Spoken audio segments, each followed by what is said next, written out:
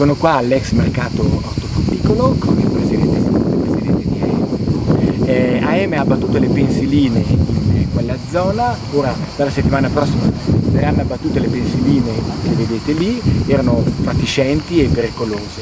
Questa zona è restituita a che cosa? Qui ci sarà un parcheggio eh, gestito da AM e il parcheggio servirà per tutto questo comparto, là vedete il polo tecnologico, lì c'è l'ex macello, ehm, sono finiti i lavori di bonifica dell'amianto che era sotto, e dalla settimana prossima ricominciano i lavori di abbattimento dell'ex macello per l'insediamento di nuove attività produttive.